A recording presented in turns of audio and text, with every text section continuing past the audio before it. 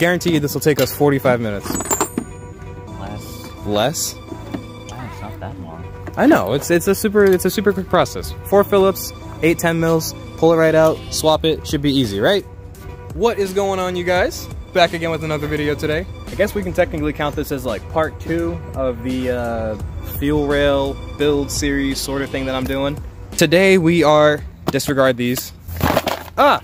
Today we are putting in the high flow AEM fuel pump that comes for the 04 up WRXs and STIs, but I mean, it fits any GD chassis, I'm pretty sure, or really any Subaru to be honest. Super quick process. All you gotta do is take out the back seats. Next thing you're gonna wanna do is Remove these rusty, crusty bolts. prior to removing these nasty ass screws, you're gonna wanna take off this little back half of the uh, back half of the trunk. Take that off on the passenger side and boom, fuel fuel pump will be right under this little tank over here.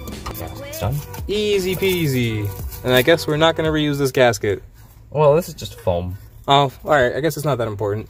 This is my first time kind of going through doing a fuel pump, so I've watched a few videos on it. It doesn't look too difficult, but it's always better doing it with friends that have already done it before, just in case you don't know what you're doing.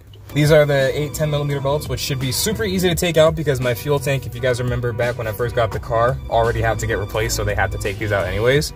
So this should be a super quick process. All right, so we've got all the hoses, all the hose clamps at least off of these, off of the hoses and everything.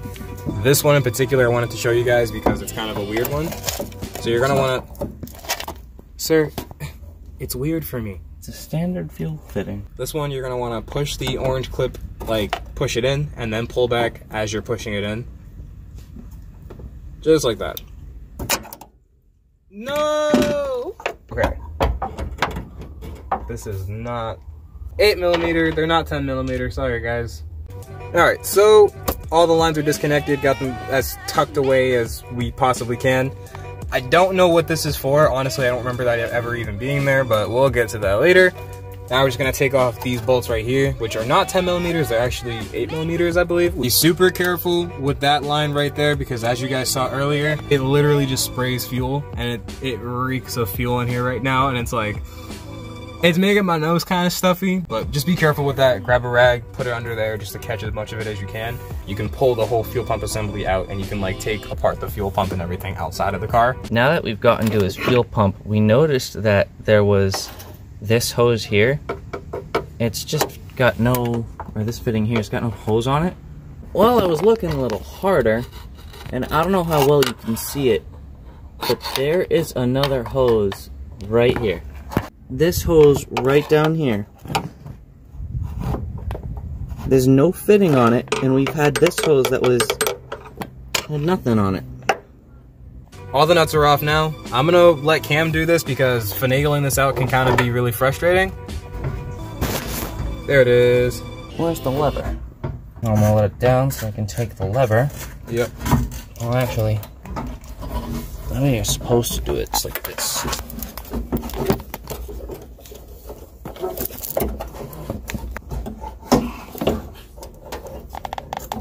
Tip it one way, tip it the next way, get the bob out, There you go. Perfect. And then grab a microfiber because there is fuel in that filter right there. And then we can disassemble it outside of the car. So, get the clip to the back, undo the clip. Oh, shit. Somehow I skinned myself. there it is. We're gonna probably take off this line here.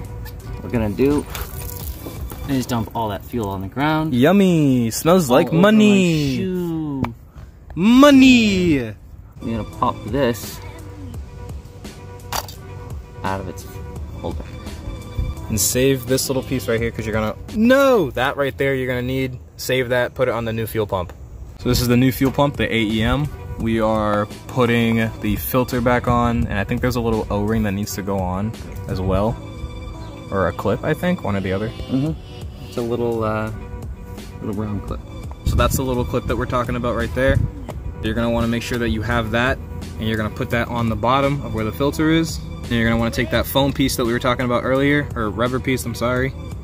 Clip that on.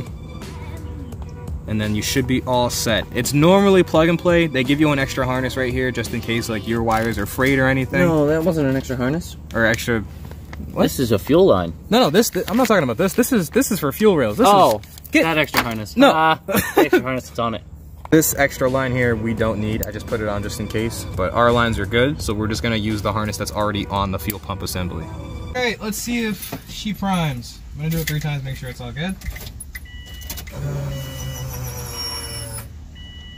One, two.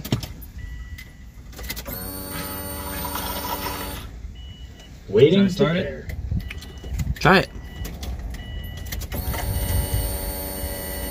All right.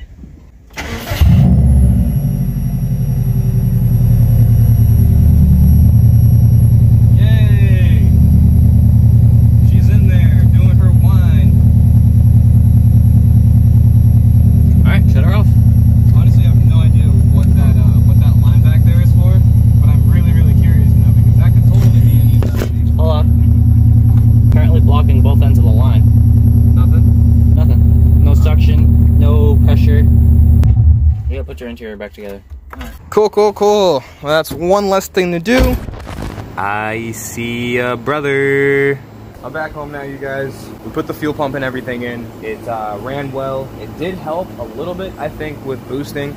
Getting up to like six or seven pounds now, I can do consistently. We think that line back there on the gas tank might be possibly my entire evap problem, and if that's the case, I should shoot myself in the foot right now. So we're gonna take a look at that the next time we get a chance to. Currently, right now, I'm just giving old girl a oil change. It's been a while, about like 27-ish, 100 miles. The past few changes, I've done it a little bit earlier, just because she's been sucking down a lot of oil. I'm gonna knock this out of the way, and then uh, I'm actually gonna go ahead and end this video now. So I hope you guys enjoyed. Make sure to comment, like, and subscribe, and I'll see you in the next video.